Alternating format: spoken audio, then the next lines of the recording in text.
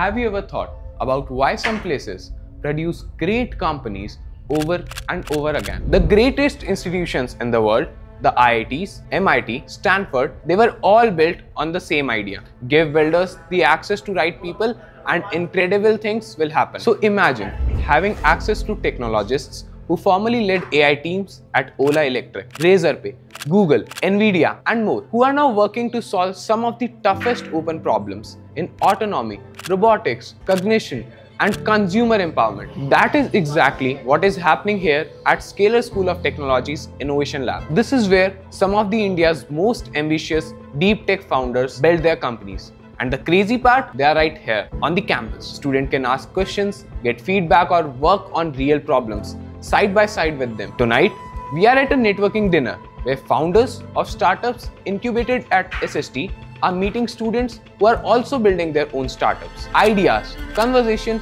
and connections all in one room.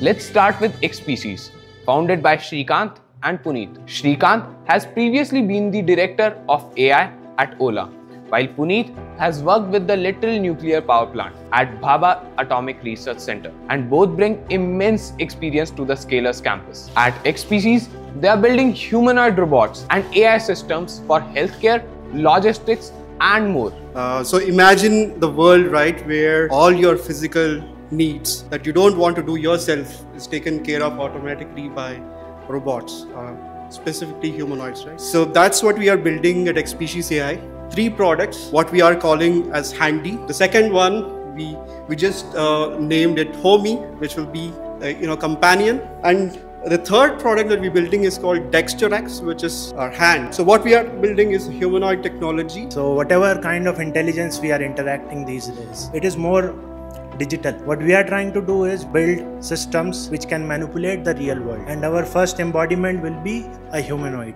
Next we have Neosapiens co-founded by Aryan and Dhananjay. Neosapiens is building India's first AI native wearables, a pendant that acts as your second brain. Most of your life happens via conversations and there is no trace of that in your digital footprint as such. You know who you are as a person and what is important to you lies in the conversations. So we started building this device. For, for example, एक family बैठ के mutual fund discuss कर रही है, right? So many decisions have been taken, so many, you know, um, challenges have been reported during that conversations. Maybe you can leverage the data to form a trading strategy or even a mutual fund strategy or even an investment strategy to personalize it for the users. So what we are building again is the memory layer side of things, wherein ChatGPT can be another form of distribution service for us. So that is what we are building at the moment. Next, we have Divyam and Dheeraj from Task Harmony. They are building AI agents that run global logistics operations 24 7.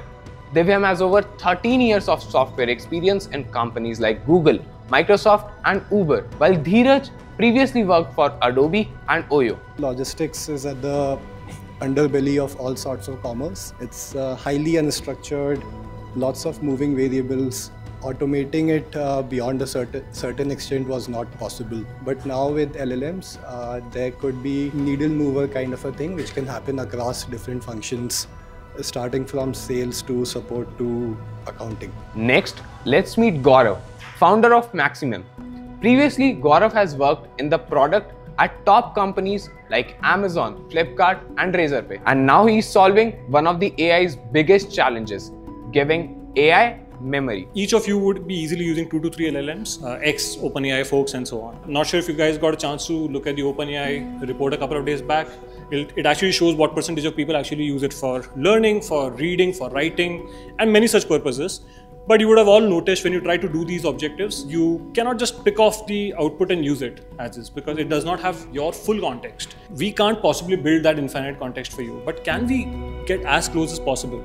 right? So we are embarking on that journey with our first product called Witty, uh, helping you gather all your context from across LLMs, from different tools that you use, from different uh, apps that you use, and build on top of it. Then there is Gahan Meet the founders, Pallab, Udalok, and Sohini. Pallab has worked as the Associate Director of Autonomous Driving at Ola Electric and also led predict teams at Nvidia and Mercedes-Benz. They have been recognized by NASSCOM and International Innovation Awards. And with Gahan they are building an all-weather, all-terrain autonomy systems for vehicles starting in India. If there is something, a problem that exists, then we must take action to do something about it. And me, Udalok and Sohini, we have grown looking at mines, our families and friends have been part of mine, understood the problem firsthand. And because of our work in the industry on autonomous driving, it kind of made sense for us to solve that problem.